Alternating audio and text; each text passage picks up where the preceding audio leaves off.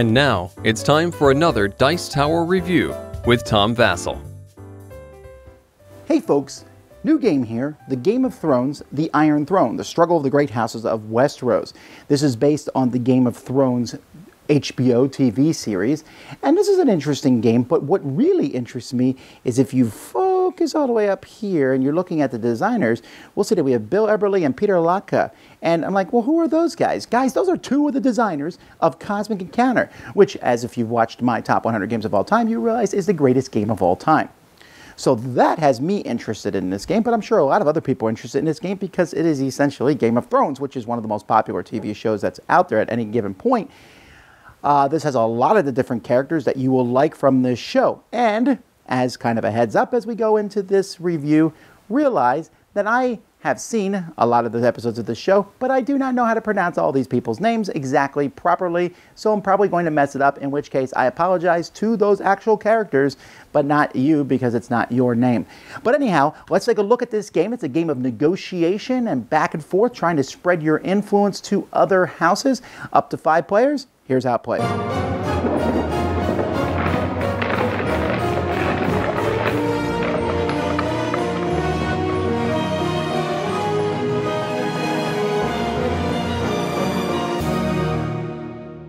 Each player is going to pick one of the houses that they want to be. There are five different characters for each of the houses. So you have the Tyrells, you have the Targaryens, and there's different characters that come with each of them. Khal Drogo, yeah um, the Baratheons.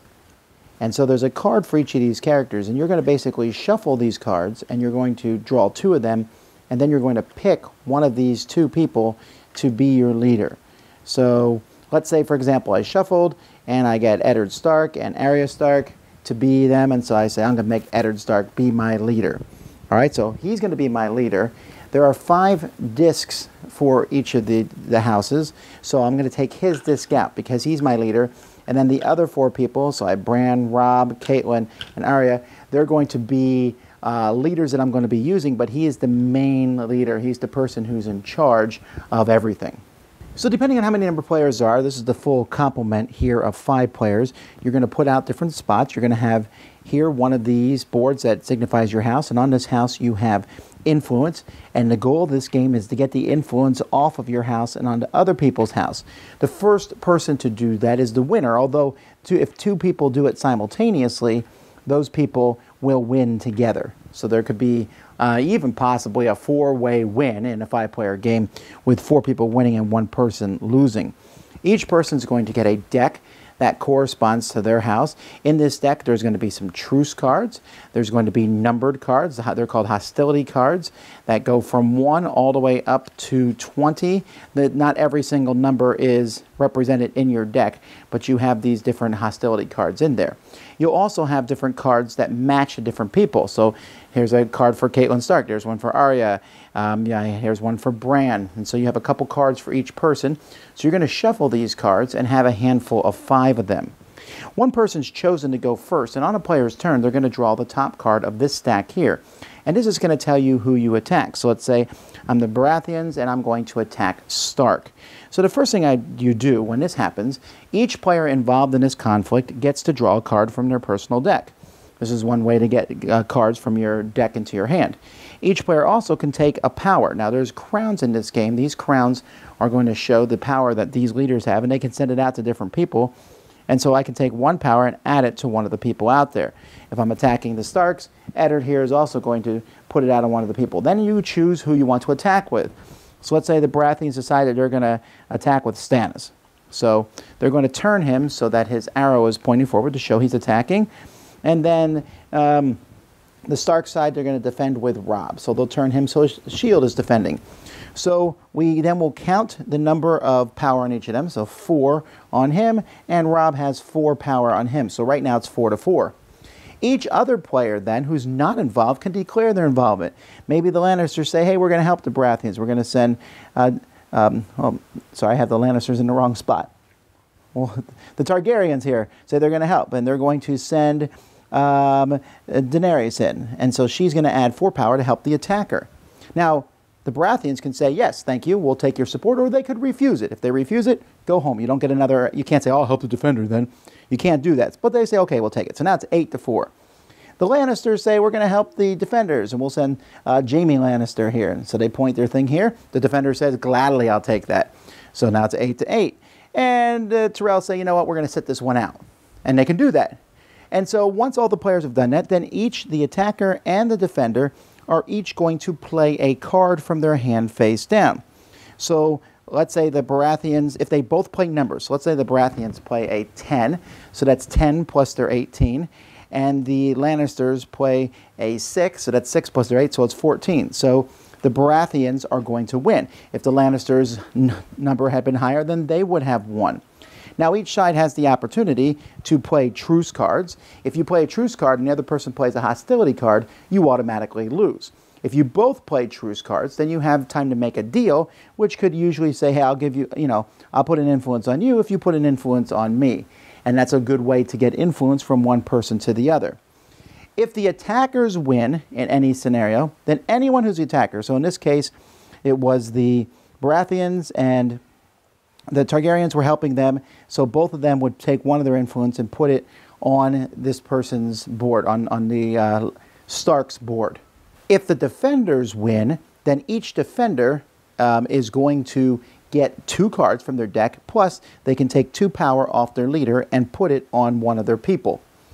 Uh, also, each person uh, who loses loses half the power on them, which goes back to their main leader. If you lose all your power, and it's rounded up, if you lose all your power, then your character dies. Now, the winner can take a hostage from the other person. If you play a truce card and the other person plays an attack card, you get a hostage, and there are special abilities that get hostages for you. A hostage means you can take the top card from their deck, you can draw a card randomly from their hand, or if they already have a hostage in front of them, you can take it. Now, hostages may be, you might get a very specific character as a hostage, and you can give that hostage back to the person. You can trade hostages. You can do different things with hostages, or you can torture the hostage, and if you do that, they lose four power, which could kill them. Uh, sometimes you'll get one of these cards, which has nothing to do with anybody, and in that case, you can just do one damage to, uh, to one of the characters that's out there. But you also can just keep the hostage, and you're keeping that card out of their deck so that they can't use it. Now, we mentioned these cards here for the different characters. If you use these in an encounter, it counts as a zero. So you're probably not going to do that. But if this character is involved in the encounter, so let's say Olenna is in what is the character who's in the encounter, then you can play this as after resolution phase, remove two power from each non-Tyrell character on both sides. That's spite. She's a mean old woman. Uh, and if she is your leader, then you and let's say well she is the leader you can see she's over there as the leader then you can play this no matter which character is involved in battle but uh, I can't play his card unless he's the specific card that's in the battle. So if I'm using Mace, I can't play his card, which adds 5 to my side's power for each supporting player on the opposing side. So that's kind of interesting. And so there's different cards that can be played. And you don't get to draw new cards unless there's an action that lets you do so. So if you are involved in the battle, of course, you're going to get one card. If you uh, win as a defender, you will also get two extra cards. So that's ways to get cards. Or if you free hostages that you've captured are ways to get cards. And that's it. You're just going to go around the board. You're going to be drawing from this. It will tell you who to go after. Uh, usually it's going to be a house, but sometimes it might, that's the person who has the most influence other than you.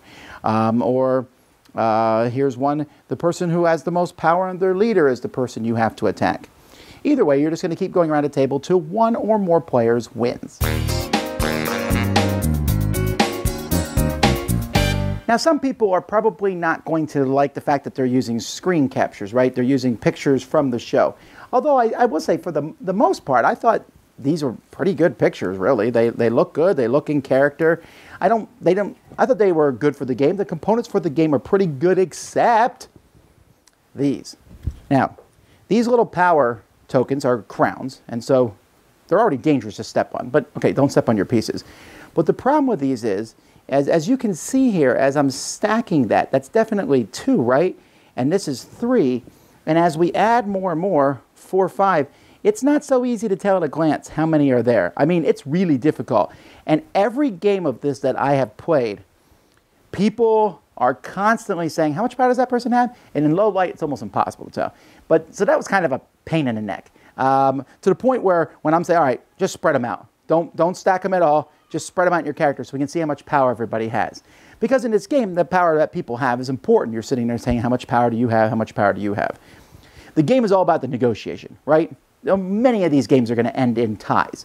And I'm normally opposed to ties, but I don't mind the ties here because you can, you know, it's a tie that you are specifically uh, angling towards. And if you don't want to be part of a tie, you don't have to be. You can try to win alone, but it's easier to win as a tie. You can say, hey, let's both play uh, truce cards, and then your opponent plays a truce card, you play a, a, an attack card. Ha ha ha. And of course, they're not going to trust you again, but there's nothing really binding in this game. Um, then there's the hostages. Now, I found the hostages to be an okay part of the game. The hostages are there, they're interesting, but you usually don't hang on to hostages very long. Yes, you can keep that card out of that person's hand, and but returning it, getting a card is good. Torturing it, taking the four powers off, good. But if you let it sit there, uh, there's a good chance there's different character powers that can steal hostages from you. So that's not quite as as handy as I'd like it to be. I like the concept of it, and I like that you get them in theory, but it just sometimes it's weird that my hostage is a seven power card. Um, uh, but other than that, the game is all about the negotiation. Sometimes you don't want people necessarily to help you in attacking. You say, why wouldn't you? Well, they might have four of their influence out, and I only have two of mine out. And if they help me and we win, then they will win the game, and I won't. So of course I'm not going to ask them to help me attack. Or maybe uh, just in revenge because they uh, they they didn't invite me in last turn, so they're not getting invited this turn. But what I like about this game is there's no such thing as permanent alliances, which is pretty similar to the TV show, actually. And just because I helped you last turn doesn't mean this turn I'm coming after you. And the game doesn't really cause any deep lasting grudges because this is constantly happening throughout the game. I help you this turn, I'm slapping you next turn. And so that's a pretty cool thing. So I like the game.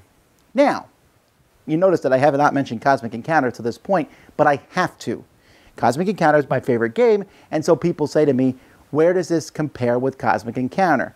Well, after my first playing, I wasn't quite sure, but now that I've played it more, I can pretty much tell you straight up, it doesn't compare. Cosmic Encounter is amazing. It is my favorite game of all time. This one is good, but not even in the top 100. And I'll tell you there's a couple reasons for that. One, I like Cosmic Encounters just whatever theme it wants. It's its own theme. It's its cosmic universe. Cosmic Encounter also has a huge amount of uh, variety in it. And even if you, okay, so to be fair, there's a lot of expansions in the game. But Cosmic Encounter, it just feels like every game's going to be different. Here, there's some there's some interesting things that you have your power of your character, and it, that you technically, when you take a house, you have one of five different powers. Okay, so there's technically in this game there's 25 different powers included in the game. That's fine, and I like that. But Cosmic feels cooler. And Cosmic has flares, and Cosmic has reinforcement cards, which are exciting. When an encounter is over, you're never quite sure that it's over. And it just seems like it has a whole lot more depth. And I also like the way that uh, allies are done in Cosmic better, where allies basically, you invite them to help you. Here, they kind of invite themselves, and then you say yes or no. And uh, while I think this game is fine with five, just like Cosmic, I think this would be better with six, but I'm, maybe they'll make an expansion out of six player. So I don't mean to put this game down, but it's going to be compared to Cosmic Encounter, and Cosmic Encounter just blows it away on every level. However, if you like Game of Thrones and you have never heard of Cosmic Encounter, this is a pretty neat game. You're really going to have a lot going on in this game. You'll like it going back and forth. This game ends at a very reasonable time. Uh, all, the, all the games I've been involved with have been an hour or just a little over an hour, maybe 90 minutes at the most. It has a pretty strong theme to it. If you like the TV show, everyone I played with is talking about the different things. It is a little odd sometimes when you send out the little Baratheon girl to fight for you. Um, some of the characters like, why are you sending a handmaid out to this? But it's not so much fighting, it's influence, it's intrigue. And I want to see the little Mormont girl show up in this. And, you know, there's a lot of characters like, ooh, I'd love to see some more of these characters. Um, and I would imagine that, you know, maybe eventually there will be other factions and stuff for the game. But let's say there's nothing else it's still a fine game. If someone's a fan of the TV show, this is definitely a game I think you'll enjoy. It brings out the feel of that backstabbiness of Game of Thrones, and I think you'll have a good time. So for me, sure, doesn't compare to Cosmic Encounter, my favorite game. And there's a lot of overlap between the two of them that I don't know that I would ever pick this over Cosmic Encounter unless I had some people over who love Game of Thrones, and I'd be like, well, here's the perfect game for you. And so it's kind of unfair for the game that it has that older brother, which is just so much better in every way. It's like, oh, why don't you be like, more like Cosmic Encounter? Um, but it's still a solid game on its own right. And I think because of its theming, a lot of people are going to enjoy it there. So that's Game of Thrones, The Iron Throne. Who wants to sit on this piece of garbage? Dice Tower Judgment approved. Thanks so much for watching the Dice Tower videos. Find more great videos and reviews, as well as our top rated audio podcast at Dicetower.com. You can also find other great shows at Dicetowernetwork.com. I'm Eric Summerer, and you've been watching The Dice Tower. The Dice Tower is sponsored by Cool Stuff Inc., where you can find great games for great prices. Cool stuff in stock. Check them out at CoolStuffInc.com. Shut the door. There. There.